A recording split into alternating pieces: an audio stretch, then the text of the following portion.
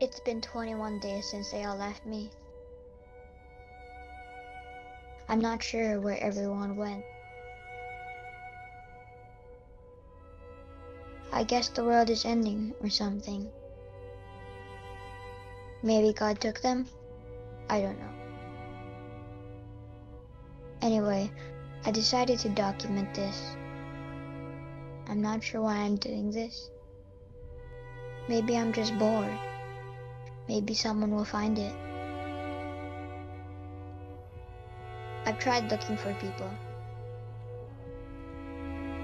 I don't know what I'll find, but I need to know if there are still people out there. I haven't seen a single person.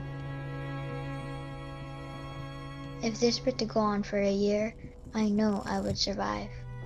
But I don't know. Will I be able to take the silence? The silence plagues me. I can feel it in me like it took over me. I would give anything to hear something. Anything. Somebody.